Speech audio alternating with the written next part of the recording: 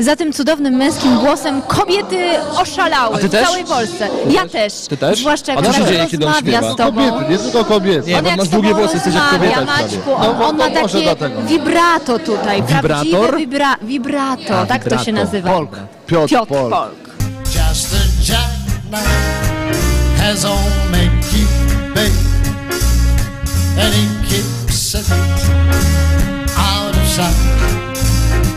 Mam wrażenie, Piotrze, że jestem bardziej zdenerwowana od ciebie przed y, tak wielką premierą. To jest dla mnie, dla mnie ogromne wyzwanie, ogromne. To jest pierwszy raz w moim życiu. Ze sceną jestem zaprzyjaźniony.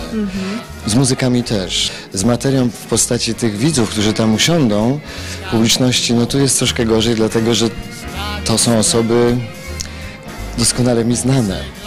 Więc zapraszając wszystkich mówiłem, że chciałbym, żeby przychylnym okiem na mnie popatrzyli.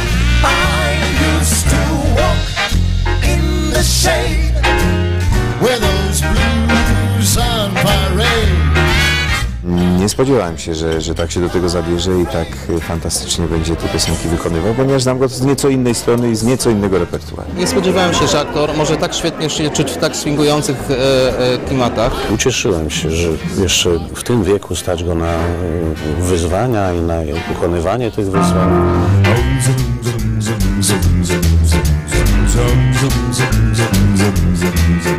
Lubię jedną piosenkę, która jest jedyną oryginalną na tej płycie i w tym koncercie. Nazywa się Friends, nie bez kozary myślę. Śpiewamy ją we trzech. Anytime you need the friends indeed, you need the friends indeed. Bardzo, bardzo jestem zadowolona, bardzo mi się podobało, bardzo miło spędziłam czas. On sobie wspaniale poradził e, z niezwykłą właśnie taką e, charyzmatycznością, z niezwykłą siłą. Szkoda tylko, że po angielsku, szkoda, że nie po polsku. Bardzo mi brakuje komunikacji w polskim języku. Wszystko jest w angielskim, Chcieliśmy po polsku.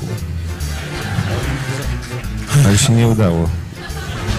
Poluś powiedział, że albo po szwedzku, albo po angielsku. No to... Złota płyta. Wiesz, ilu artystów na to czeka? No ja mogę ich tylko bardzo przeprosić. Że odbierasz im chleb. Będę go namawiał, żeby wziął diamentową. Myślę, że zostanę aktorem, a wokalność zostawię jako dodatek funkcyjny do zawodu aktora.